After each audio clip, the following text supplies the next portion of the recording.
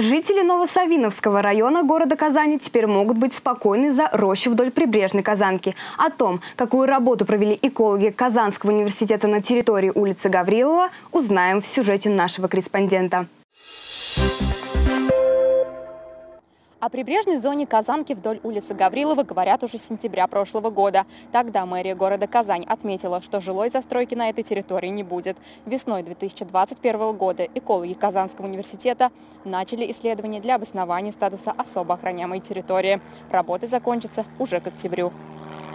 Жители улицы Гаврилова города Казани давно озабочены тем, что на роще вдоль прибрежной Казанки построят новые жилые застройки. Но из-за неоднократных обращений жителей района в администрацию, мэрия города решила, что на территории Новосавиновского района действительно не хватает общественных пространств и парков. Застройку перенесли в район речного порта. В прошлом году к нам обратилась инициативная группа жителей с просьбой исследовать состояние территории на предмет выделения в качестве особо охраняемой природной территории. Красивые ландшафты, которые привлекательны для а, отдых населения, потому что население ведь рядом живет.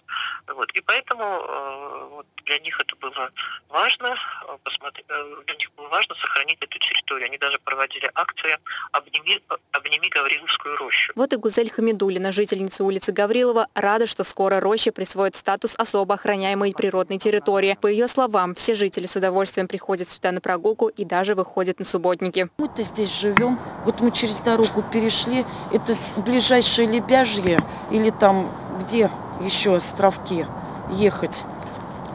Это все далеко. Конечно, сохранить. А мы прямо все побережье вот всегда чистили.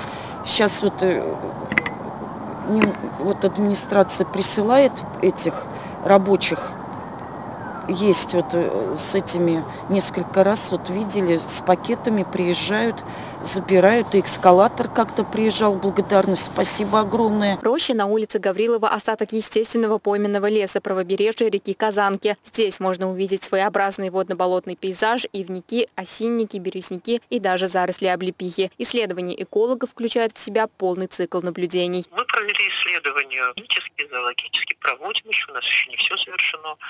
И э, рассматриваем эту территорию в качестве возможной особо охраняемой природной территории. Это тоже очень важно. Также экологи изучили, какие маршруты в дальнейшем можно проложить на территории прибрежной Казанки в качестве маршрутов экотуризма. К слову, экотуризм направлен на отдых на природе без нанесения вреда окружающей среде. Рассматриваем эту территорию с точки зрения возможности использования для экологического туризма. Может быть, там, ну, может быть, два-три маршрута придумать, э, обустроить эти маршруты, чтобы люди ходили, понимали, в чем, так сказать, природная ценность этой территории. По словам Нафисы Мингазовой решение о том, что это будет особо охраняемой природной территорией, уже принято. Исследование ученых Казанского университета будет являться для этого обоснованием. Они подготовили большой отчет и передали в соответствующие ведомства. Бенджамин Небаева, Фарид Захидоглы, Универньюз.